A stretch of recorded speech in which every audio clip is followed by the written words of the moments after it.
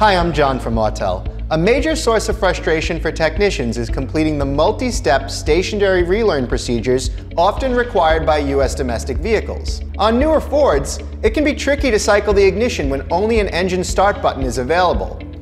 What about a vehicle that's missing a keyless entry remote?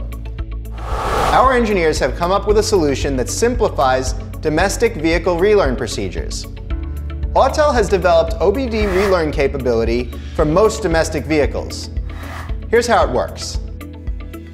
Choose Position Relearn on the TS508. Then choose OBD Relearn. Activate your sensors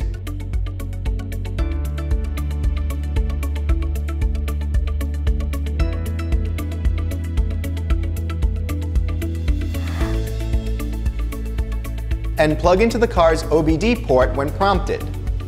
The tool will then upload the sensor IDs and wheel locations to the TPMS ECU, as well as clear any trouble codes. It's that simple.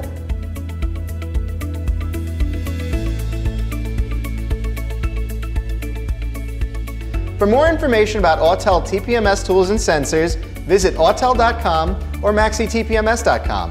Thanks for watching.